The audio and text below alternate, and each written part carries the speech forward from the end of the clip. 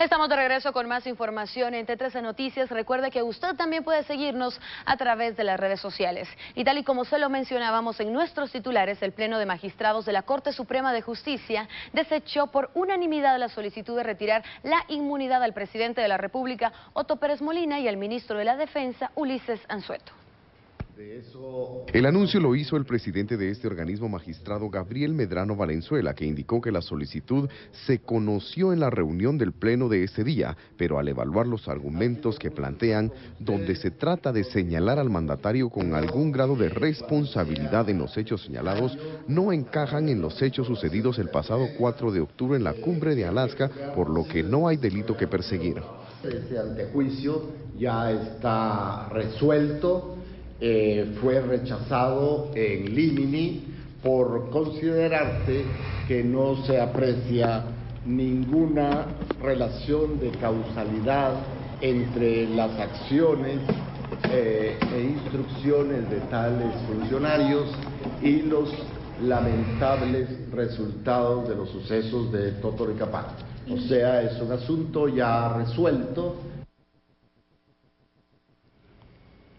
Y a diferencia de la opinión de muchos sectores de la sociedad, los empresarios del CACIF creen que el ejército guatemalteco sí debe participar en el retiro de manifestantes que bloqueen las carreteras del país. El decreto 42.000 es la base legal para que los elementos del ejército guatemalteco apoyen a la Policía Nacional Civil en el ejercicio de sus funciones, como la lucha contra el crimen organizado y el narcotráfico, además de todas aquellas disposiciones del Ministerio de Gobernación. Sin embargo, el gobierno central analiza modificar este decreto para que los elementos castrenses sean retirados de labores como las manifestaciones, a lo que el Comité Coordinador de Asociaciones Agrícolas, Comerciales y Financieras CACIF considera que no es sensato, por lo que solicitaron la reconsideración de la orden presidencial de no participar en los desalojos en calles y carreteras. Creemos que ese apoyo del ejército cuando se considere conveniente a la Policía Nacional Civil es necesario. Creo que no es prudente cerrar esa puerta. El decreto que están tratando de modificar lo tiene como una opción, no lo tiene como una obligación. Así que yo creería que es muy importante tener esa opción para cuando pues, las autoridades lo consideren necesario. Por último, el presidente del CACIF indicó que nadie se opone al derecho de manifestación, pero que se deben de respetar las leyes guatemaltecas. Y después que el presidente de la República, Otto Pérez Molina, dijera que el ejército guatemalteco no actuará más en los hechos de conflictividad social como bloqueos, manifestaciones y movilizaciones, analistas en seguridad y justicia aseguran que debe establecerse la diferencia de funciones entre el ejército y la Policía Nacional Civil, de acuerdo a las misiones que se encomiendan a ambas instituciones. Sin embargo, las reformas son positivas porque se mejorará la comunicación entre la PNC y las fuerzas castrenses, según los expertos del Centro de Investigación investigaciones económicas nacionales. Guatemala no está en las condiciones como para no usar al ejército en la seguridad interna.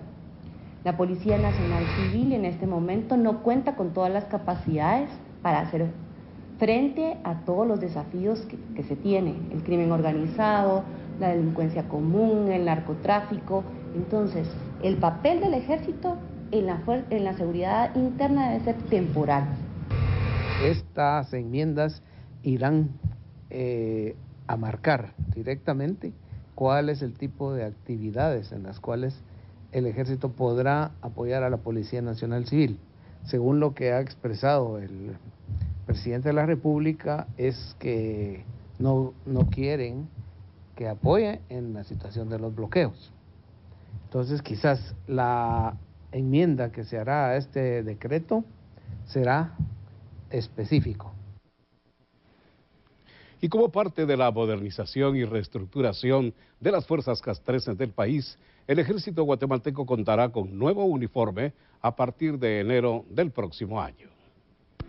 Como parte de la modernización y reestructuración de las fuerzas castrenses, en el diario oficial salió publicado el reglamento de uniformes del Ejército de Guatemala, mediante el Acuerdo Gubernativo 292-2002, que norma la descripción y uso de cada una de las prendas y divisas que conforman el uniforme. Para el 1 de enero del 2013, todos los miembros del Ejército tendrán que portar la vestimenta, tal como lo dicta el organismo ejecutivo, sin modificación de colores, afirmó el vocero del Ministerio de la Defensa las unidades de tierra, es decir, las unidades de ejército, estarán vistiendo siempre el mismo uniforme, la camisa beige con el uniforme verde olivo.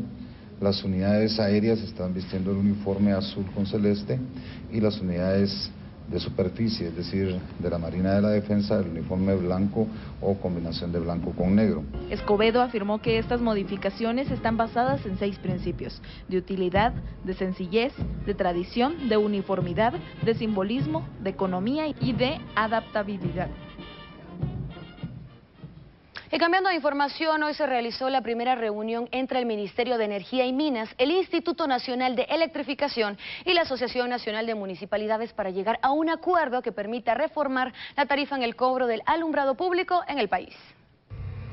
Lo que queremos es que, que el, usuario, el vecino eh, salga bien y que las municipalidades también, por eso eh, pedimos un compás de espera para dar a conocer a la Junta Directiva y darlo a conocer a todos los alcaldes, porque recuérdense que se goza de autonomía, ¿verdad? Así que el día lunes nosotros vamos a estar nuevamente reunidos y consideramos que existe la muy buena voluntad del señor presidente, la muy buena voluntad de las partes y por supuesto de, de las municipalidades. Líderes de los 82 comunidades de Sololá demandan al Ministerio de Agricultura que se anule el convenio del acuerdo que da potestad a una universidad privada para ocupar un terreno del ejército de Guatemala.